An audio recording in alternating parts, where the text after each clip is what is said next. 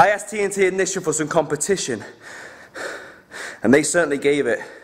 Chris Ridgeway is some tough competition, but I'm not intimidated, Chris.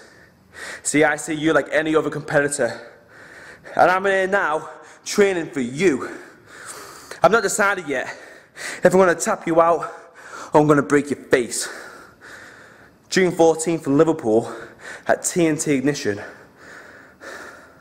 I'm going to make a statement at your expense.